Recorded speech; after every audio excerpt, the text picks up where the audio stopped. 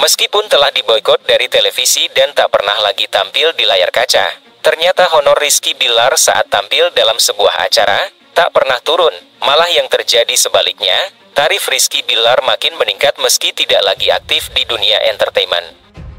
Hal tersebut sesuai dengan bocoran salah satu sahabat artis Leslar yang hadir dalam acara fashion show SAS tadi malam. Bahkan, honor Rizky Bilar sebagai model di acara fashion show tadi malam tembus di angka ratusan juta rupiah, mengalahkan tarif para model lainnya di acara SAS tadi malam. Selain dari itu, sosok Lesti Kejora langsung menjadi pusat perhatian netizen di fashion show semalam.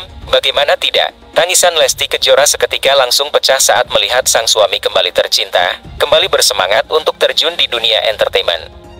Sebagaimana diketahui, Rizky Bilar menjadi salah satu model dalam acara fashion show SAS atau SAS yang digelar beberapa waktu lalu, tepatnya minggu malam 27 Mei 2023. Seperti yang diketahui, SAS The Six adalah salah satu brand ternama di Indonesia milik Rakes Bagwandas yang diwariskan oleh sang ayah. Dalam peralatan tersebut, terlihat Lesti Kejora begitu setia mendampingi suaminya, yakni Rizky Bilar dalam acara itu. Bahkan wanita jebolan terbaik Indosiar tersebut kerap kali tertangkap kamera meneriaki sang suami, guna untuk memberikan semangat kepada Rizky Bilar yang tengah berlenggang-lenggok di atas catwalk tersebut.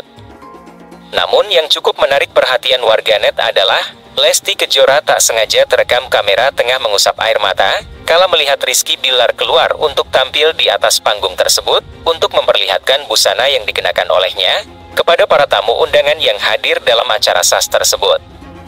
Terlihat pula, sahabat dari Lesti Kejora yang yang menyaksikan kejadian itu, langsung memeluk dan mengusap pundak Lesti Kejora untuk menenangkannya. Harus diakui, semenjak pasangan yang dikenal dengan nama Leslar tersebut tersandung dengan kasus rumah tangga, Rizky Bilar tak pernah lagi tampil di layar kaca. Fashion show SAS itu bisa dikatakan aksi perdana Rizky Bilar terjun lagi ke dunia modeling semenjak kasus KDRT.